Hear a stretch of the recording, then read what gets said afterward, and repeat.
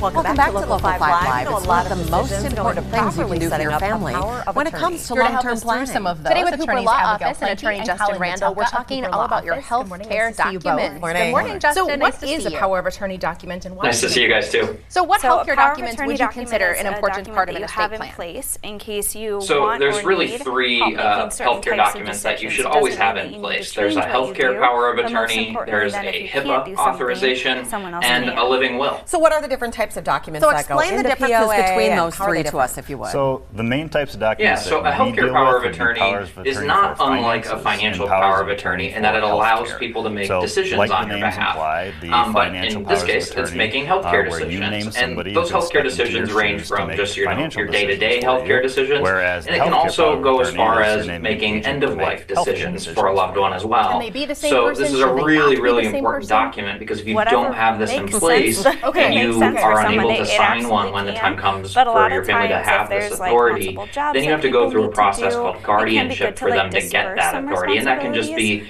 added stress on the family, added cost to the family. Is that Uh, a HIPAA that you're going to pick, authorization. are there other um, I'm sure this is consider a document that pretty I much everybody has signed at this point. I would be pretty responsibility surprised and if we haven't all and signed a HIPAA probably authorization throughout our lives. you. If- But if HIPAA is the law that attend says doctor's appointments, drive you healthcare somewhere, help to professionals make can't sure talk things to are taken third care of, parties without well, your prior they're not available authorization. So this is five, essentially a list of people that you provide to the doctor saying, Let's talk a little bit here's who about I want you to be able to talk to if they reach out on my behalf. So I think so. It's not of the biggest decision making; it's just information access. all of them Um, are and the then a living will, Um, um, and which is also sometimes called a, a financial power of declaration to attorney, healthcare um, professionals. they're only allowing Um, your this agent is to really do your end of life wishes that uh, you are authorizes uh, them to do in codifying or putting into a Um, document. So whether you want to be on life support, whether agents you under powers uh, want to be removed from life support if you can't recover, and So what you will say, want you that know, to look like when the time agent, uh, comes. for my Uh, it's mom or also a dad, document can I where people continue will sometimes put in after they uh, certain away? religious uh, unfortunately, the answer requirements is that they have at the end of life. So, what do we well. do in that situation? Um, but this is really what makes taking it, care of things uh, after? Sure. You know, then makes we're your wishes known the when we're talking uh, about personal representative wishes. under a will. Justin, or who makes a good agent under a healthcare trust. power of You attorney? can understand why this is something to Uh, navigate with a team of professionals like yours. The seminar is really a have great place to start, somebody right? who is Absolutely. So next week at the somebody Neville Public Museum in Green Bay, we'll have a is wills versus trust seminar where we um, talk